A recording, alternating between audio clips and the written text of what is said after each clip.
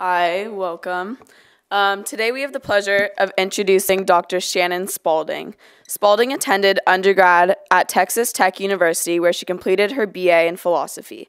Soon after, Spaulding moved to Fayetteville, Arkansas to complete to compete in track and field and pursue an MA in philosophy at the University of Arkansas.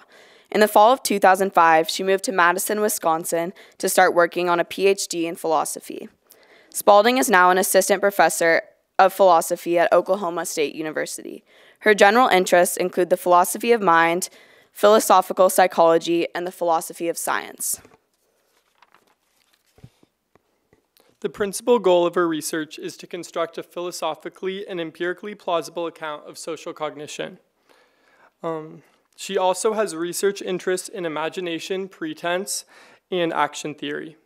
In addition, she is also working on a co edited special issue of the Philosophy of Science Journal Synthese with our previous MCSI speaker, Kristin Andrews, and philosopher Evan Westra on the topic of folk psychology, pluralistic approaches. Today's discussion will focus on her recent book titled How We Understand Others The Philosophy and Social, Co- Philosophy and Social Cognition. We would now like to welcome Shannon Spaulding.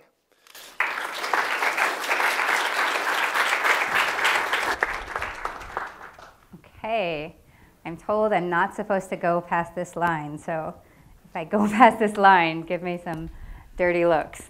So I am interested in um, social cognition, that is, the psychological and neural processes that underlie our ordinary interactions with other people. In particular, I'm interested in a certain kind of social cognition that's known as mind reading. Now, this is not the kind of thing that you see in fiction, like telepathy, sort of this magical connection to somebody else's mind. It's a much more quotidian sense of mind reading that is just figuring out what people are thinking. Um, I'm interested in how we do that, the ordinary people figure out what other people are thinking.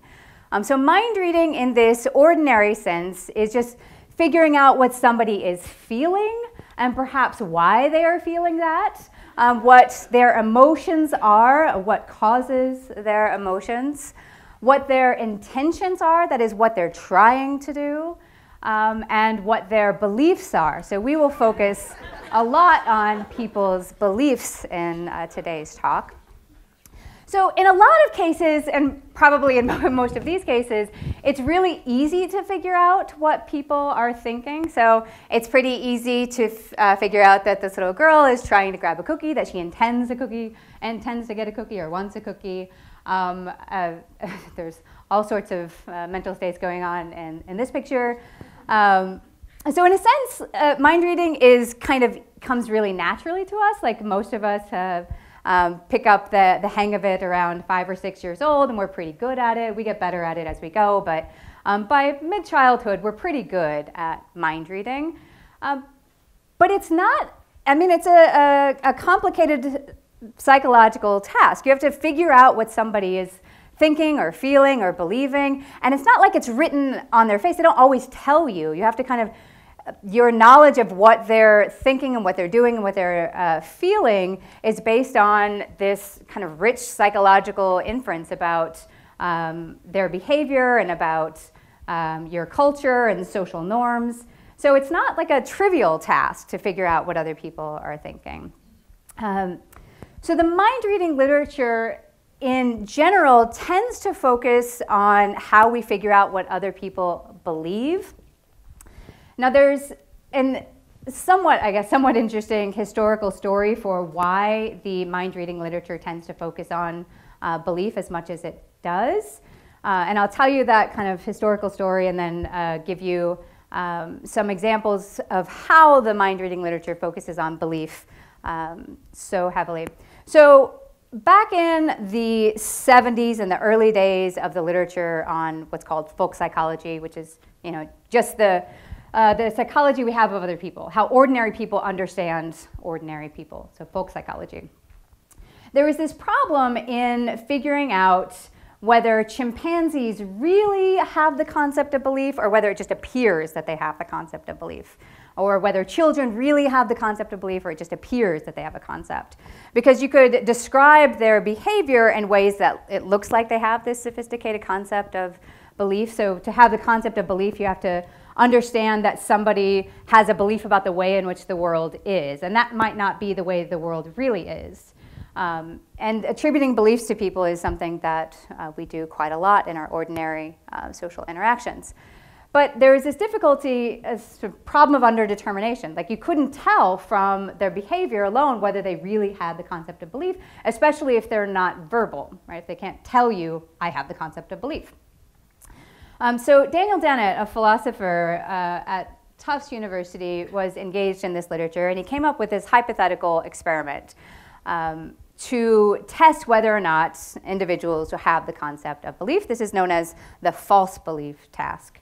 Um, so the basic idea is that if you can attribute to somebody a false belief, that is, if you can understand that an agent has a belief about the way the world is, they represent the world a certain way, and that's not the way the world really is. There's, in a sense, uh, dual representations how the agent thinks it is and how the world actually is.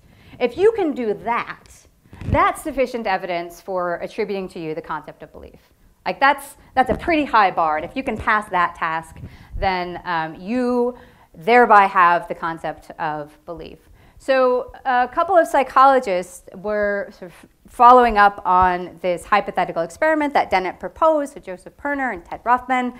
And they actually implemented this experiment and came up with uh, what's known as the Sally Ann task. This is just a version of the standard false belief task. And they um, gave this task to children. So it's uh, really pretty simple, and probably most of you will have no trouble with this. Um, but they have a couple puppets. Uh, there's Sally, and that's Anne. Sally has a basket, Anne has a box. Sally has a marble. She puts the marble into her basket, and Sally goes out for a walk. Anne takes the marble out of the basket and puts it into the box. Now Sally comes back and she wants to play with her marble. Where will Sally look for her marble? So um, most of you will probably say that Sally's going to look into the basket for her marble. And if you're asked why, you'd say, well, that's because that's where she thinks it is. That's where she left it. She has a false belief about where the marble is. Uh, and if you can answer the question in that way, if you get the, the, in a sense, the correct answer that Sally is going to look into the basket, then you are attributing Sally, to Sally a false belief, and you have, you know, that's good enough to uh, attribute to you the concept of belief. So this experiment was really foundational in the mind reading literature. It shaped a lot of what came afterwards.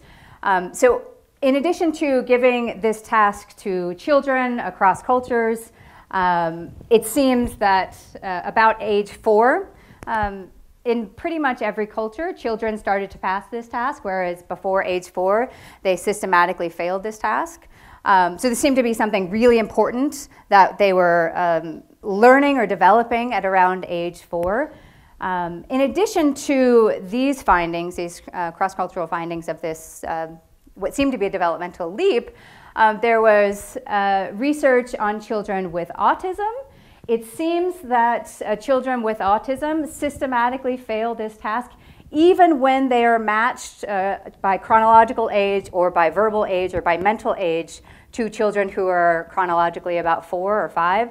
So upwards of 10 or 11 for uh, their uh, mental or verbal age, they started to pass this task, but before this, they uh, failed that. Um, so this seemed to suggest that the false belief task was do, it, it, was tapping into something really important that neurotypical kids develop at around age four, and that children with autism it took a lot longer for them to develop um, this capacity to attribute uh, false belief and to um, have the concept of belief. So this shaped a lot of that literature. There was also this literature that came a lot in philosophy about how we attribute beliefs to other people. Um, so there's this uh, debate between what's known as the theory theory and the simulation theory.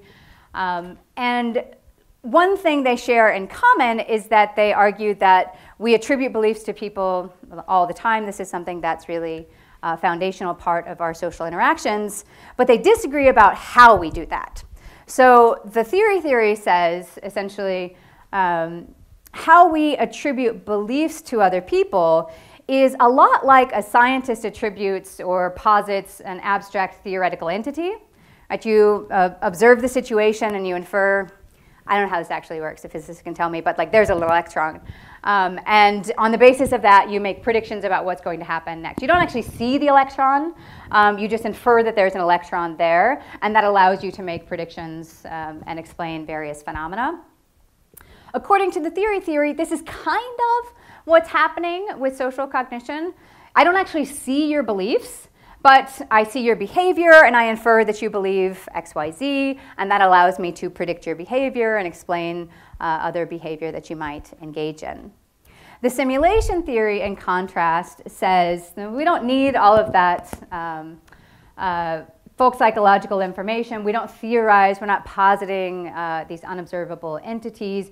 We really, in a sense, just sort of simulate you. We kind of put ourselves in your situation and figure out what we would think and feel and do in that situation, and then just attribute that to you. Um, so they have a diff, there's a disagreement on the process of attributing beliefs, but the main thing they're trying to explain is how it is that we attribute beliefs to other people. Now, there is also some discussion of how we attribute desires, but that plays a lesser role in uh, the literature. So, even the literature, the philosophical and empirical literatures that critique the standard false belief task, um, have still maintained the focus on belief. So, one of the main critiques of the standard false belief task is that it tests for a lot more than just the concept of belief. So, think about two and three year olds who have to try to take this task that I've just described to you. Not only do they have to listen to instructions from an adult who is not a parent, um, they have to follow the story sort of the story that I described to you. They have to understand that the ball or marble, I guess, is in the box. It's not in the basket. They have to listen to the experimenter's question, um, and they have to inhibit a response to say where the ball actually is and give you an answer to a question that they might not have anticipated that you're going to ask, like where will Sally look for the ball?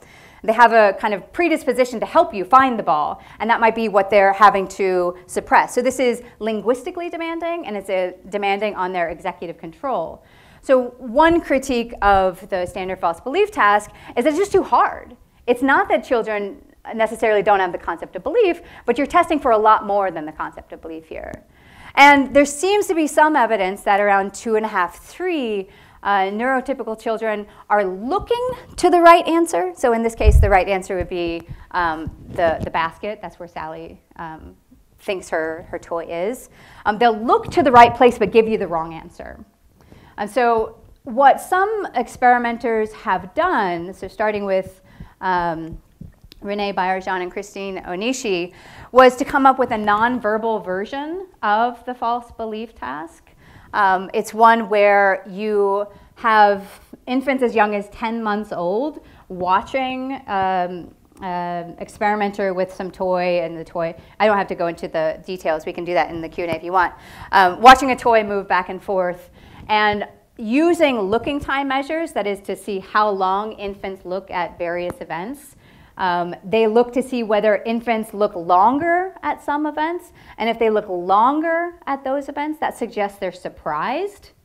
Um, and if they're surprised by certain events, that suggests they had a belief about how things were gonna go, and it didn't actually go that way. So when the experimenter reaches into a box and saw the toy go into this box, that's surprising.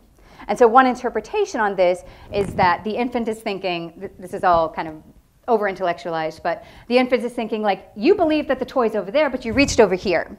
So I'm confused by that. So this is a way in which even infants might be tracking um, false beliefs or tracking beliefs and might be said to possess the concept of belief. I don't really have like a, I always forget how this idiom goes, a horse in this race or a dog in this fight. Um, it's not a dog fight. No, it's, yeah, it is a dog fight. It's not a horse fight though, I know that. Um, So I don't know how this all turns out. I'm really not sure. Um, but what I want to emphasize is that the overwhelming focus of all of this vast literature is how we attribute beliefs to other people. Um, and that is important. That does signify a very sophisticated development of our social cognitive abilities. But what I want to argue for the rest of this talk is that there's a lot more to understanding others than just belief attribution. Now, I take it that nobody would disagree with me on this. Um, everybody thinks there's a lot more to social cognition than just belief attribution, um, but this is just a particularly important part of our mind reading abilities. But what I'm going to argue is that the stuff that I'm going to be talking about um, shapes how we view mind reading more generally. So it's not just that um, in the real world, mind reading is messy. It's that it's messy in really important ways. So the input to mind reading, that is the stuff that we pay attention to, that varies person to person and demographic group to demographic group. It varies depending on the situation you happen to find yourself in. The process we use to mind read is going to vary depending on what your goals are in a social interaction. And what you do with these mind reading judgments is going to vary depending on the situation you find yourself in and your goals um, and various other uh, motivations. So it's that mind re- the, the kind of overall thesis of the, the talk and of the book is that mind reading is just much messier and more complex and more philosophically interesting than you would guess just by reading some of the philosophical and empirical literature on mind reading. So uh, just to kind of sum up what I'm going to uh, do in the next few minutes, um, I'm going to argue that how we categorize people, how we socially categorize people, is really important to the mind reading we end up engaging in. Our goals that we have in a social interaction influence how we perceive that interaction. And um, the situational context we find ourselves in will shape that social interaction as well. So I'll talk first about social categorization. So social categorization is just dividing people and behaviors and events into categories. Um, this is essential for successful navigation of the world. So um, somebody might tell you to not judge a book by its cover. Um, that is unrealistic advice. We have to judge books by covers. Um, we have to sort people, behaviors, and events into social categories. It makes the world more easy to understand. It makes it more predictable. It makes it uh, easier for us to uh, influence for our own purposes. Um, so we do uh, sort people and behaviors and events into these very social categories. So the typical categories that we sort people into are age, race, and gender. Like these are in a heterogeneous society, um, some of the most salient social categories. Uh, we sort people into the categories age, race, and gender really fast, like 100, within 100 milliseconds we do this. So it's a, no math measure, but a tenth of a second. Um, and we do this even when we're under cognitive load, that is, even when we're busy with some other uh, task. We can sort of, in a sense, just glance at somebody and uh, know what their age, race, and gender roughly are. We sort them into categories. Um, on top of that, the social categories that we sort people into are associated implicitly with various characteristics. Um, so, for example, we tend to associate um, elderly with incompetence. Um, that is, we tend to think that somebody who is um, frail and elderly will be more likely to be incompetent than somebody who is not frail or elderly. We tend to associate being female with being warm. We tend to associate being baby faced with being unthreatening. Um, and it, as it turns out, which we can talk about um, a lot more in the Q&A if you're interested in discussions of implicit bias, we also tend to associate being black with being violent, in particular male um, with being violent. These are associations that we make that are tested by things like priming task or the implicit association task. So probably some of you guys have heard about the implicit association task. You can go um, and take this test for yourself on the Harvard Implicit uh, Bias website. We can talk about the implicit association task and various uh, things associated with implicit bias if you guys are interested. My only point at this juncture is to highlight that we do automatically categorize people into various uh, social categories, often age, race, and gender, but others too, depending on what's salient in the context. So it might be religion, it might be your sports team affiliation, it might be the sorority that you're in, um, it could be all sorts of things given what's salient in the situation. Um, it's just that age, race, and gender tend to be um, always salient in societies like ours. On top of the associations that, um, or the, the features that are associated implicitly with these social categories, we also spontaneously make personality trait inferences. And again, we do this very quickly. So the, the timeline for this is kind of up for um, empirical debate, but it's somewhere between a tenth of a second and a second. We will infer that somebody is, for example, dominant or aggressive, or somebody is trustworthy, um, or somebody is intelligent or friendly. And we make these trait inferences really fast. And of course, these could be mistaken, right? Somebody could just seem friendly, or somebody could just seem dominant. Um, in fact, they, they aren't. Um, but although we do make these fast and these could be wrong, there also is evidence that first impressions have a way of sticking around. So even when you're given more time, like several minutes to infer somebody's personality trait, it's usually the, the kind of split judgment that you make at the beginning that sticks. We, we often don't change our mind even when we have more time to think about it. Okay, so this is sort of social categorization. We do this we, before we even get to the mind reading process. We sort people and behavior and events into these social categories, and they're associated with various features implicitly and um, automatically. And we make these uh, personality trait inferences before we even get to the process of mind reading. And of course, as I'm going to argue later, that's going to influence the mental states you end up attributing to somebody. So if you infer that somebody is aggressive, for example. Um, that's going to really shape how you view that behavior and the, the mental state inferences you're going to make, um, as opposed to viewing somebody as, you know, if the, it's somebody telling a joke, for example. I mean, this could be viewed aggressively if it's, you know, uh, looks like a hostile interaction, or in a different context altogether, like in a bar, a crowded bar where it's loud, you might view this as just, you know, funny, raucous behavior or something. Um, that's going to really influence how you end up mind reading the uh, agents in that social interaction. On top of all that, so there's this, I'm going to finish this one chunk of, of the empirical data. On top of all that, um, uh, we also divide people into in groups and out groups. Um, so when we divide people into in groups and out groups, all this means is that um, you perceive somebody to be similar to you. Um, and perceived similarity is, of course, relative to a context.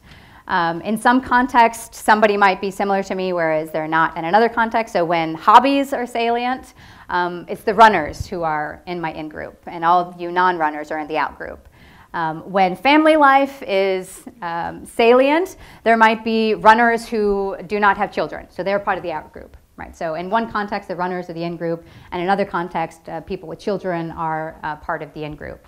So you, in-grouping and out-grouping is um, relative to um, certain context. So on top of the fact that we uh, divide people into in-groups and out-groups, we also tend to prefer people who are part of our in-group. And this happens for the kind of typical in-grouping, out-grouping divides like nationality, religion, age, race, and gender.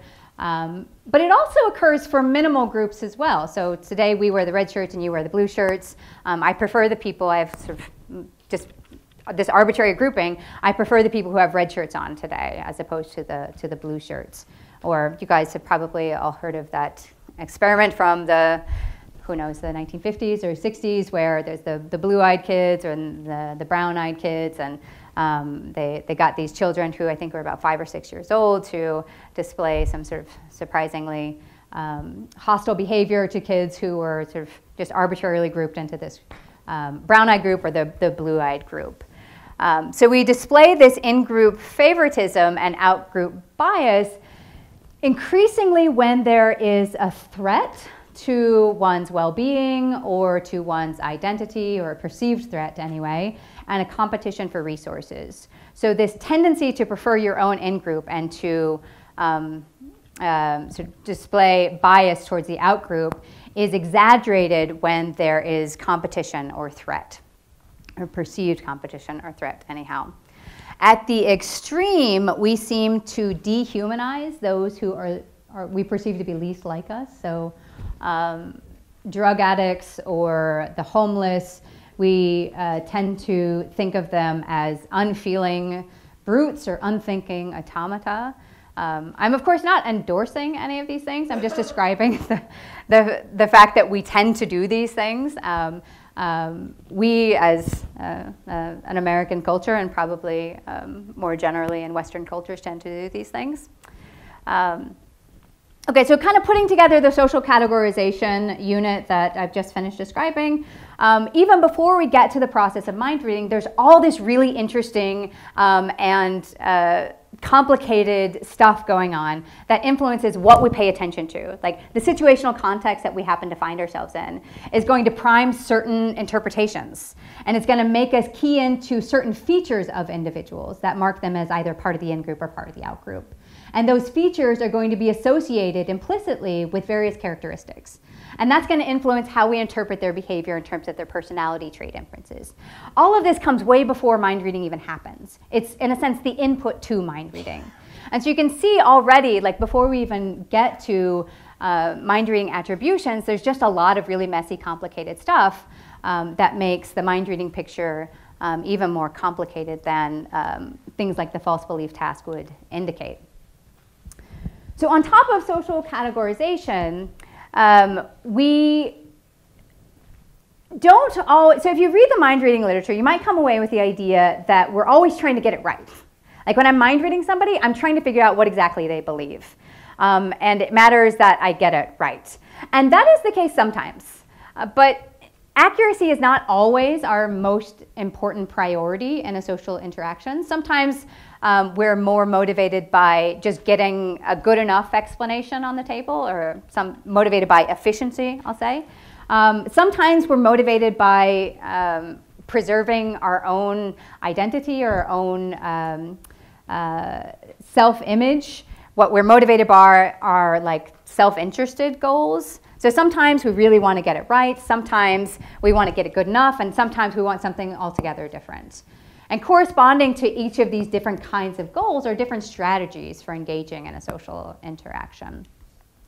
So when accuracy is the most important goal, um, what we do is we search for relevant information carefully in a deliberative fashion. So um, if I'm on um, a job search committee and I'm going to interview some candidates, um, and so I I live and uh, work in Oklahoma, small town Oklahoma. Um, I, I want friends, and I want my friends to stay. Um, so I'm going to like think really hard about the interviews and the questions to ask them, and think like, you know, are they going to be happy here in small town Oklahoma? Are they going to stay here? Are they going to leave at the drop of a hat? Are they going to be annoyed with Oklahoma students um, and their ridiculous accents? Um, I like I'm thinking like carefully about these things. Um, thinking about what their mindsets are. So in that case, it matters to me uh, personally um, that I get it right. So I engage in this sort of careful search for information. This is hard to do if you're already under cognitive load. So if you are um, on this job search committee, um, but you're like multitasking, like you're really busy or you're stressed out or you're thinking about your sick child, um, it's really hard to engage in this process in a systematic way or if you are just not practiced at this type of reasoning. So when we have a, a, different sort of goal, when efficiency is a primary goal and accuracy is only a secondary goal, we engage in different sorts of mind reading uh, processes. So in these cases, when we're unmotivated or unable to engage in a thorough search, especially when we're in very familiar situations where we feel like we don't have to invest a lot of time into figuring out what's going on, we engage in different kinds of shortcuts depending on whether the person we're mind reading is part of the in group or part of the out group. So when the person is part of the in group, the shortcut we take is just to project our own thoughts onto them. They don't have to think very hard about what you're thinking. I Think like, well, you're more or less like me in some relevant respects, and so I just project what I'm thinking onto you. Like you probably think the same thing about uh, this situation that I do. Um, when the person is part of an out group, we don't project, we stereotype. And I mean this in a, a kind of a neutral way. So stereotypes can be positive, negative, or neutral beliefs about some social group. Um, you just use the beliefs about a social group and then just um, attribute that. Now this can go awry in lots of ways, right? So you might um, inappropriately think that somebody is similar to you. In fact, they're really different from you. This is the, the false consensus effect. I think um, sometimes freshman students get this experience when they uh, come from a homogenous uh, high school or, or, hometown, and then they come to college and they think uh, everybody thinks the way that they do, and then they talk up in class and people have really different sorts of beliefs. It's just surprising to them. Um, so this uh, the false consensus effect. Um, you think that people believe what, what you believe. This can also go awry when you think that somebody is really different from you, and in fact, they're actually pretty similar to you. Like they're just superficially different from you. Um, and in that case, you use a stereotype when something like projection would be more appropriate. Now, I, so we can't avoid using these shortcuts, right? There, we just do not have the cognitive capacity to engage in careful deliberation in all circumstances. That I mean, when you're in the grocery store and you're just trying to get the attention of the um, the self-checkout attendant because you don't want to talk to somebody. You just you know need to get his attention and that's it. Like you're not going to engage in this careful deliberative process about what the, the checkout attendant really uh, believes about the world. Um, it's just going to be these sh shortcuts. So we have to rely on these shortcuts. They're really um, useful and it would be uh, very difficult to navigate social interactions without these uh, shortcuts. So the previous two strategies or uh, approaches to mind reading differ with respect to how effortful they are. So careful deliberation is very effortful, and um, the shortcuts I've described are, are not. When we are motivated by our own self-interest, the strategies that we adopt can be effortful or um, efficient, right? So that's not the, the distinction. We can um, have self-interested biases influencing both deliberative processes and the shortcuts. So I'll describe a few different um, shortcuts to you guys, or sorry, uh, a few different uh, biases that are very common in our reasoning about other people. So the first is what's known as the group serving attributional bias. And it's easiest to explain this um, by starting with the self-serving attributional bias. So here's just an example. So an important part of my job is writing articles and sending them out for peer review and getting them rejected and then getting harsh feedback and then sending them back out and then getting them rejected again and then sending them back out and then eventually getting them accepted. So part of what you tell yourself when you get these rejections is like, ah, the reviewers just didn't get it. Right? They didn't understand what I was trying to say, right? Um, it's not that um, I had it wrong. It's just that they're, um, you know, whatever. It's just not landing in the right laps. It's not landing, uh, you know, this a, a, cranky reviewer. It's, you know, known as reviewer number two. Um, but when the paper gets accepted, you don't do that same thing, right? Like it wasn't luck that you landed with that right reviewer, right? You say like, ha, finally, they finally got the, um, the wisdom of this paper. They figured it out. So there's a different pattern of explanation when you fail and when you succeed. Like when you fail, it's an external thing, right? It's not something sort of internal to you. It's not that you're not smart enough or you're not good enough. Um, typically, when we succeed, uh, or at least when there's a sort of healthy psychological functioning, uh, when we succeed, we think like, okay, see, here's the real me coming out. Now, the part that's relevant here for mind reading is that we do this with in-groups and out-groups too. So um, I think a sports analogy works really well. So um, when my team wins, it's because my team is great. Right, they're a hardworking blue collar team, and you know it's um, you know about time that they they won and they deserved it because they worked really hard for it. But when my team loses, that is your team wins, it's because there was just a few crucial plays where the refs could have called it one way or the other, but the refs called it that way, and it went against them. Right? Your team wins because your team got lucky in the right ways. So the, the point to notice here is that there's different things that you're keying on to when your in-group wins and when your in-group loses. So when your in-group wins, they succeed, you're looking at like internal um, sort of mental phenomena. You say like, well, it's because they're smart, it's because um, some kind of like virtues that they possess.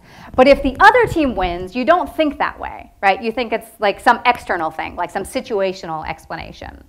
So you have different patterns of explanation, um, internal, external patterns of uh, explanation, depending on whether the in-group wins or the out-group wins. Um, and even though I know about this bias, I cannot help but succumb to it. Every time I watch uh, the Wisconsin Badgers play, every single time. Like they even have these, now you can, uh, like, and I think it's like the, the Sweet 16, like you can watch your team, like your team's channel. Um, there's like a, a, the, the, the home team and the away team, or the, uh, the Badgers versus uh, the Buckeyes. And you can watch broadcasters who are like Badgers, like talking, um, broadcasting the, the event, um, and say, oh, we got robbed, um, which just makes this uh, bias even harder to avoid. Another bias that is uh, really difficult to avoid is what's known as naive realism. This one I feel is even uh, stickier. Um, naive realism is the tendency to regard people, especially people who disagree with you, as biased by their own personal motivations or um, by the news that they consume um, or the situation they happen to find themselves in, whereas you regard yourself as simply seeing things how they really are. And so it's called naive realism. Um, this is a, the, the, the, psychological term. There's a philosophical uh, view that's really different it's called naive realism because you think like, I just see things how they really are. Um, I'm not subject to bias. Whereas, of course, we are all subject to our own uh, idiosyncratic uh, biases. Um, this, of course, is going to influence um, how we mind read others, especially those who disagree with us. Right? We won't take their um, uh, behavior seriously or we won't interpret it at face value. We think they're um, biased, whereas we see things um, as they are. So finally, the last um, uh, bias that I'll describe to you is probably the stickiest of them all. And confirmation bias is our tendency to consider only information that confirms our preconceived ideas um, and to interpret ambiguous information in light of those preconceived ideas. So confirmation bias is really hard to avoid, um, to, in a sense, written into your perception of the world um, you attend to information that confirms what you think. So this, all the information you're getting is that you were right. Now, of course, facts do matter. Sometimes the situation is just obvious and it's obvious that you got it wrong. The difficulty with social interactions is that um, social interactions aren't that way. They're, you interpret a social interaction. And it's not like you know somebody has given you a scientific paper on what that person um, is thinking or feeling um, or uh, intending. Right? So social interactions often are ambiguous. Like you don't know what somebody else is thinking, so you have to interpret it. So we're really um, subject to confirmation bias in these uh, situations. Okay, so what I want to do now is just put all of this together. Um, the, the three different uh, chunks of, or yeah, the three different chunks of uh, data that I'll describe to you uh, and what it looks like for a broader conception of mind reading. Okay, so at the input level, that is the things that you're paying attention to that influence mind reading, um, the situational context that you happen to find yourself in influences the interpretive schema that are available to you. Right? So if you are um, in one situation, say you're on uh, in a oh, I don't know, um, on a bus, for example, where people tend to um, kind of keep to themselves and not make um, small talk with other people. A certain behavior might be seen as like intrusive, like you know, we on the in the social interaction we're kind of keeping to ourselves and we're not talking to other people. But that same social interaction in say a bar at midnight might not be seen as intrusive at all. It might just be seen as friendly. So the situation you happen to find yourself in is going to prime certain schema the categories that we employ and the associations that they, or the features that they are associated with also influence how we interpret the social interaction. and whether or not we're mind reading somebody who is part of the in group or the out group and the personality traits we infer, these are all factors that influence the input to mind reading. That is before we even get to the stage of mind reading. Our goals in a social interaction influence the process of mind reading that we employ. So it could be deliberative, it could be a shortcut like projection or stereotyping, um, or it could be uh, self interest distorting, either deliberative or um, efficient mind reading. And I didn't talk as much about this, but I'll sort of briefly talk about this now. In the mind reading literature, it seems that the only thing you do with um, a mental state inference is predict behavior or explain behavior. Um, but that's definitely not the case. We do lots of things with um, our mental state inferences. Um, so one thing we do is what's known as uh, mind shaping. So Tad Zawidzki has a, a book called Mind Shaping. Um, and his basic idea is that sometimes we're not trying to figure out what somebody believes, we're trying to make them believe that. In a sense, we're trying to sort of shape them or regulate them into having certain sorts of mental states so that um, they fit within our social norms. So we do this all the time with children. Um, we try to get them to be more predictable by reminding them that they like this or they want this. Um, this is a, a mind shaping process. Um, on top of that, we also are engaged in social regulation, like we're trying to get people to behave in certain sorts of ways. So Victoria McGeer has um, some work on regulative folk psychology. So she thinks that one of the important functions of folk psychology or mind reading is to regulate our social interactions in a, a similar way to uh, Tad Zawidzki's uh, mind shaping. And finally, sometimes we're just moralizing. Sometimes we're social, socially signaling our view about something to either in groups or, or out groups. Um, so it's not the case that we're always just trying to predict and explain behavior. Okay, so this is my view. This is mind reading. It's uh, complicated, it's messy. This is how I think it um, often is in the real world. Um, this is a kind of uh, mixture of social psychology and cognitive psychology and philosophy. So putting all of these together to come up with this complicated view of how mind reading works. What I'm going to do over the next few minutes is just draw out some of the epistemic and ethical implications of um, this more nuanced and um, broader view of mind reading that I've drawn out here. Okay, um, I'll move pretty quickly through this just because we're, we're nearing the end of our, our clock here, um, but we can talk much more about this in the Q&A if you want. So there's this literature in philosophy on peer disagreement. Um, so this is the epistemology of peer disagreement. And the question is, um, when somebody who you take to be an epistemic peer disagrees with you, what do you do?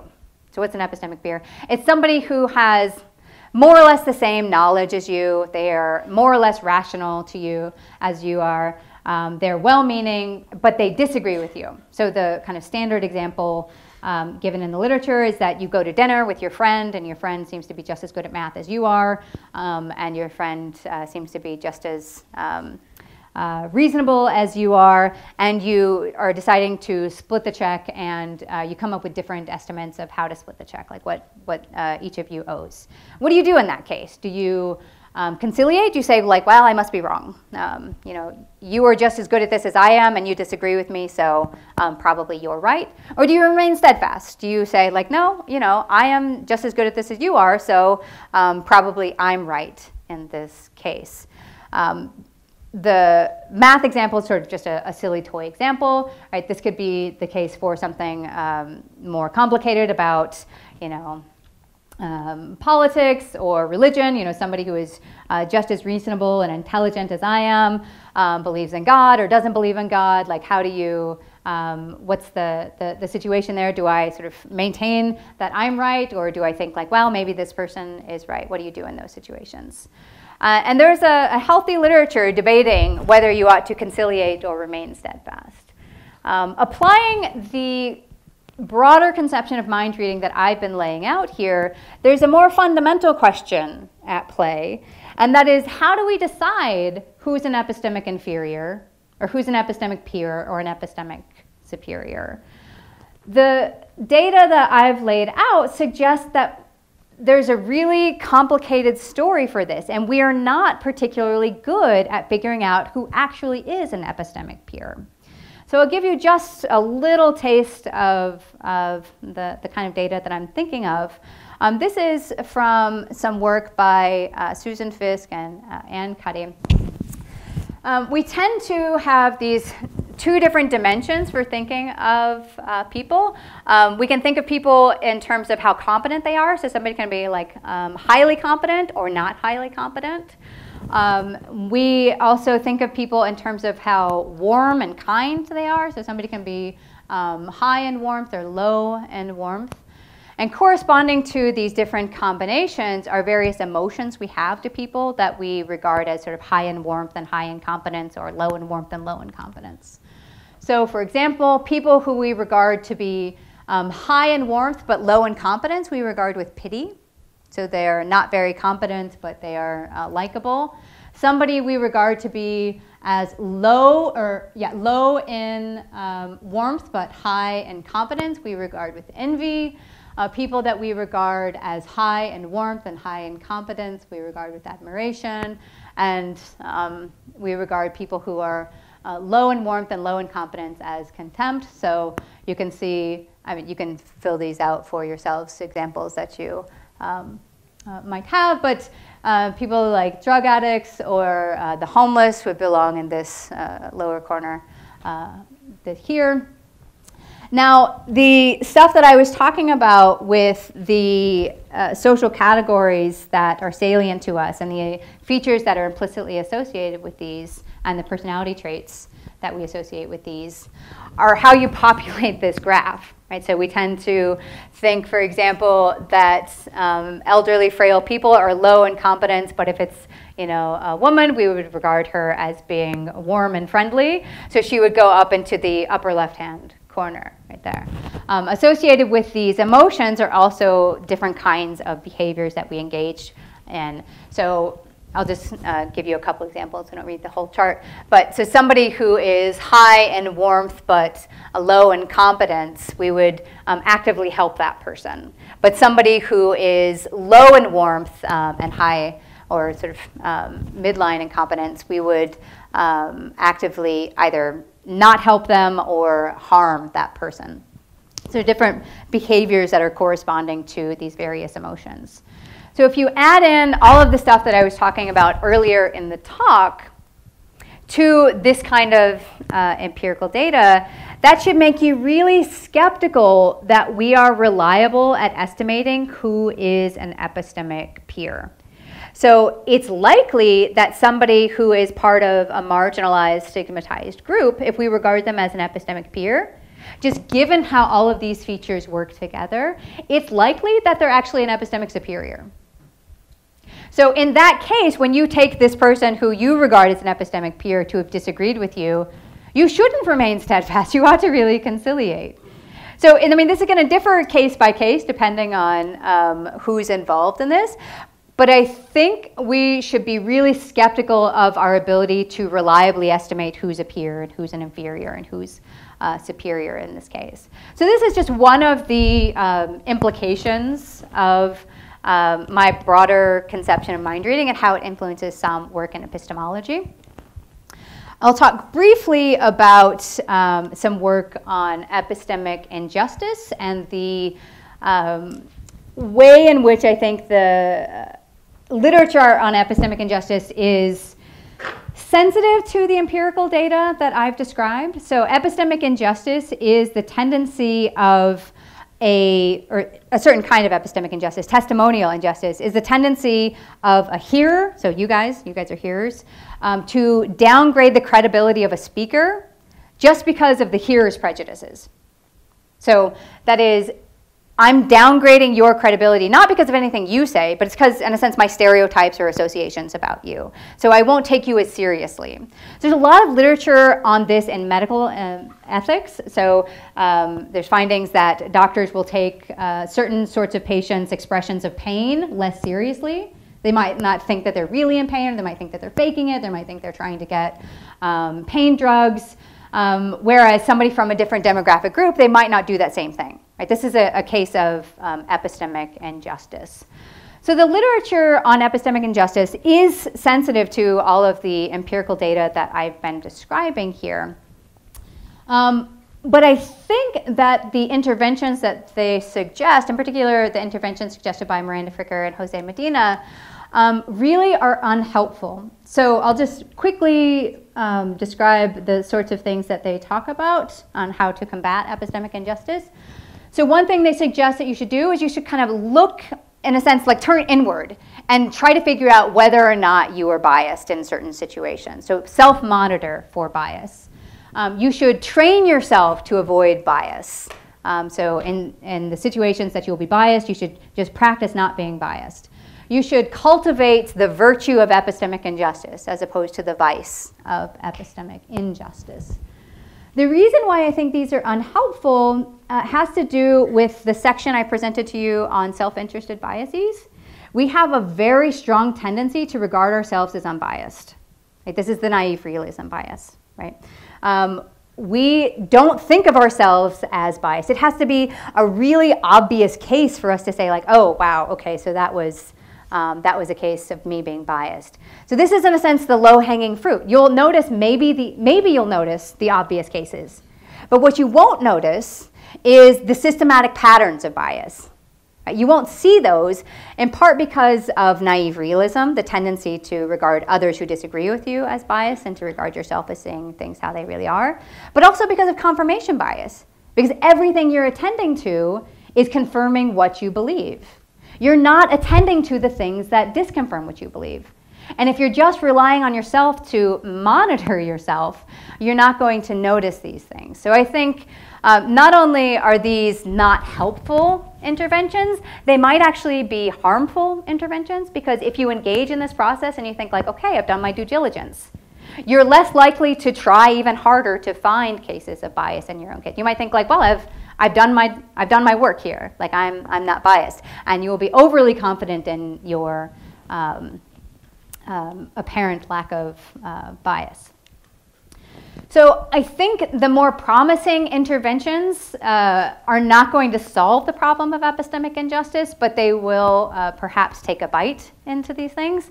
And they have to do with educating and using your social world to, um, in a sense, set up um, um, a scaffolding so that uh, you don't have to police yourself. The world, in fact, uh, can uh, help you avoid bias. You can set up various institutional measures.